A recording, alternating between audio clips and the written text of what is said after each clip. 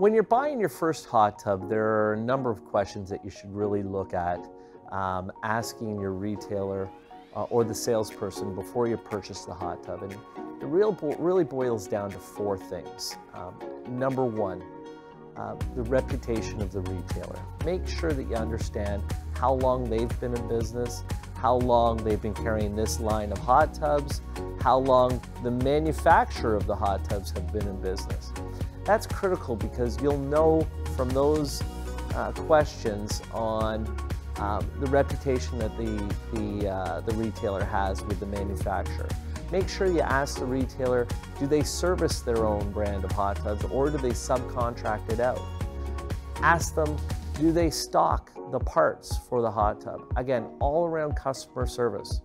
Make sure that you understand kind of who is taking care of your hot tub, whether it's the retailer or whether they're subcontracting another company to do it. Number two, make sure that you get into a hot tub.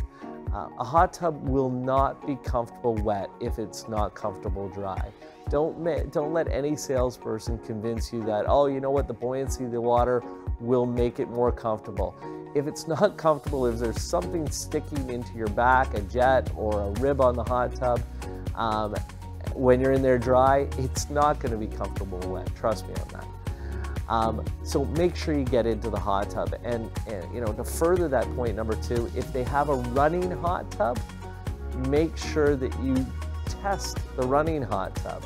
Um, the majority of the people that are buying a hot tub are buying it for massage, for stress relief, to relieve aches and pains. So that's probably one of the more critical things that you want to do when you get into uh, talking to a retailer seriously about buying a hot tub is trying it out dry and if you can try it out wet.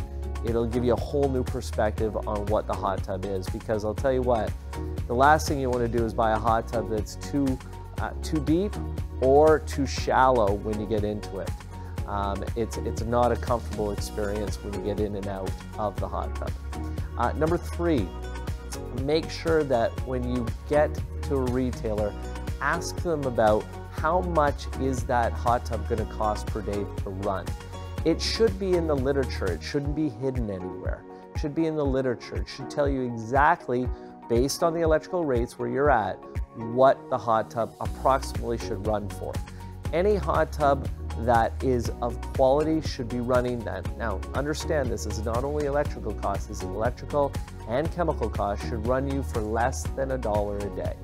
Um, depending on the size, if you get a you know a 10 to 12 person, might be a little bit more, but anything in the normal range, kind of 8 to 10 or uh, you know uh, 3 to 8, should be running for less than a dollar a day.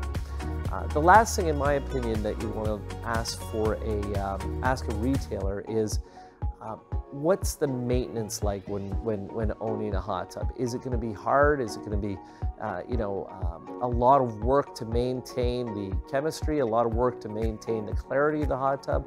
What are the things that are involved with uh, maintaining the hot tub? Because the last thing you want to do is create a headache. You want to relieve headaches with hot tubs. You want to create time, more time